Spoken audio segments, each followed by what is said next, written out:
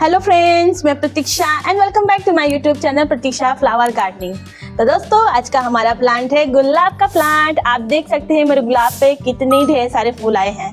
तो दोस्तों, अगर मानसून में आपके गुलाब के प्लांट पर कोई भी नई ग्रोथ नहीं हो रही है, ना ही उसमें कलियाँ बन रही है, ना ही उसमें फ्लावर आ रहे हैं तो दोस्तों, आज मैं आपको बताऊँगी आप अपने गुलाब पे मानसून में कौन कौन से काम करें जिससे आपके गुलाब पे नए नए ब्रांचेस और वेसल सूट निकले और ढेर सारी कलियाँ और फूल बनाएँ। और साथ ही साथ दोस्तों, मैं आपको आज गुलाब में एक ऐसे इंस्टेंट होममेड लिक्विड फर्टिलाइज़र के बारे में बताऊँगी, जो अगर आप अपने गुलाब के प्लांट में देते हैं तो आपका गुलाब का प्लांट जो है, इस तरह से ढेर सारे फूल बनाएगा। तो चलिए फ्रेंड्स हम अपनी वीडियो को स्टार्ट करते हैं।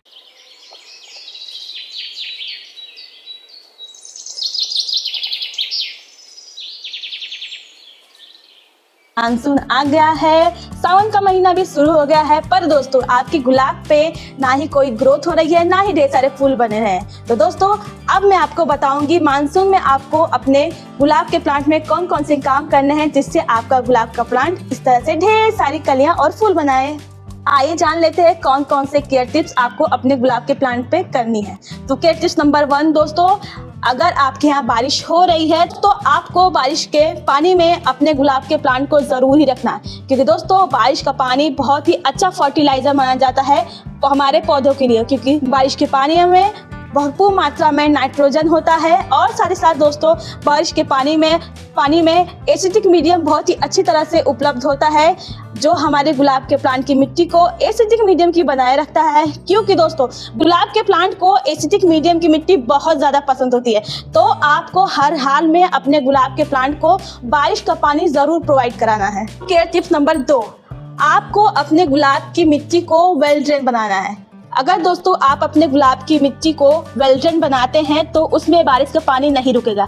अगर आपने वेल्ड्रन मिट्टी नहीं बनाई है और बारिश का पानी गुलाब की मिट्टी में रुका तो आपके गुलाब की जड़ में फंगस लगना शुरू हो जाएँगे और वहाँ से आपका गुलाब का प्लांट खराब होना शुरू हो जाएगा। तो दोस्तों, आप अपने गुलाब की मिट्टी को वेल्ड्रन बनाइए।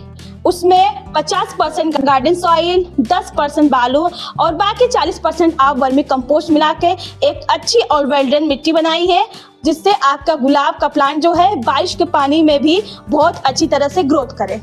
टिप्स नंबर तीन। आपको अपने गुलाब के प्लांट में ओवर वाटरिंग नहीं करनी। क्योंकि दोस्तों, बारिश ऑलरेडी हो रही है, आपके गुलाब के प्लांट में ऑलरेडी पानी है। तो आप सोचेंगे कि बारिश बंद हो गई है तो हम इसमें वाटरिंग कर दें। तो ऐसा आप ना करें, आप चेक करें, अगर उसमें पानी है तो आप ओवर वाटरिंग ना करें। अगर उसमें ओवर वाटरिंग आप कर रहे हैं तो आपके गुलाब की जड़ों में फंगस लगने का खतरा उतना ज़्यादा रहेगा। तो आप ओवर वाटरिंग करने से बचें और इसकी मिट्टी को सुखाएँ। धूप हो रही है तो इसकी मिट्टी को सुखाएँ, फिर जाके आप इसमें वाटरिंग करें। केयर टिप्स नंबर चार। आपको अपने गुलाब के प्लांट में अगर इस तरह से सूखी हुई फूल मिल रही हैं, सूखी हुई कलियाँ मिल रही हैं, या सूखी हुई पत्तियाँ मिल रही हैं तो आप उसे कट करके निकाल लें। आप ऐसे सैनिटाइज हुई कैची लीजिए और इसको लगभग एक से दो इंच कट करके निकाल लीजिए। ये देखिए।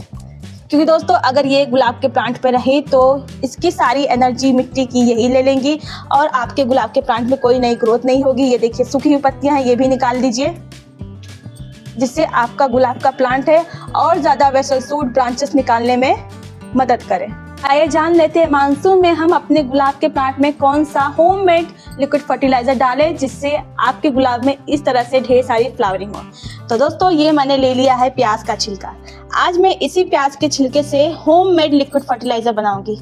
अब मैं दोस्तों इस प्याज के छिलके को इस जार में भर ले रही हूँ। ये देखिए, मैंने लगभग थोड़ा सा प्याज का छिलका लिया है। अब मैं इसको इसमें भर लेती हूँ। अब मैं लगभग इसमें आधा लीटर पानी डाल देती हूँ।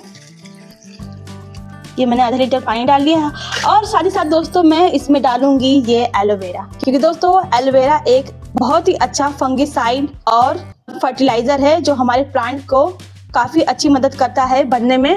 तो मैं इस एलोवेरा को काट के छोटे छोटे टुकड़ों में इसमें डाल लूँगी। ये देखिए।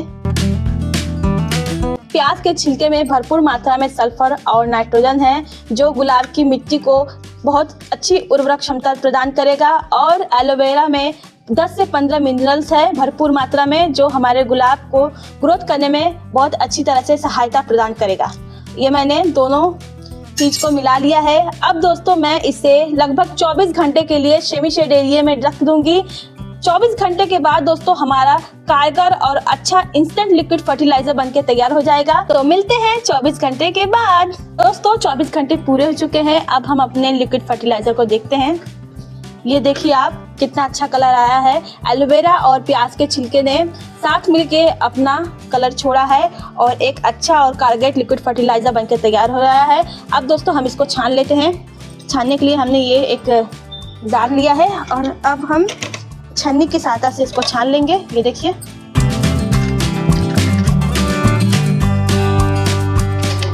ये देखिए दोस्तों, कितना अच्छा कलर आया हुआ है।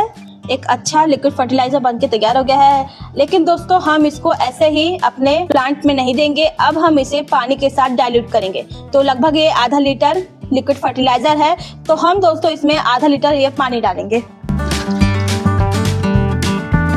ये देखिए दोस्तों अब ये बहुत ही अच्छा फर्टिलाइज़र बन के तैयार हो गया है। अब मैं इसको इससे मिला दे रही हूँ। अब दोस्तों, हम इसे अपने प्लांट में देंगे। तो आप देने से पहले अपने प्लांट की कुड़ाई कर लीजिए, फिर उसके बाद ये फर्टिलाइज़र दीजिए। मेरे प्लांट की मिर्ची वेल्डन है तो मैं अब इसमें दूँगी। ये देखिए, अगर आप ये फर्टिलाइज़र अपने प्लांट में देते हैं तो आपके प्लांट में निश्चित रूप से ग्रो होगी। उसमें वेसल सूट बनेंगे ब्रांचेस आएँगी। ब्रांचेस आएँगी तो नई नई कलियाँ होंगी, कलियाँ फिर फूल बनाएँगी, जो काफ़ी अच्छा लगेगा आपका गुलाब का प्लांट तो दोस्तों, अगर आप इसे पंद्रह एक महीने पे देते हैं तो निश्चित रूप से रिज़ल्ट पाएँगे। जैसा मैंने इस इस प्लांट पे दिया है तो आप देख सकते हैं कितना ज़्यादा फूल आया है। तो अगर मेरी ये वीडियो और फर्टिलाइज़र आपको अच्छी लगी हो तो मेरी इस वीडियो को लाइक करें, अपने फ्रेंड्स के साथ इसको शेयर करें, और मेरे चैनल को ज़रूर ही सब्सक्राइब करें। Thanks for watching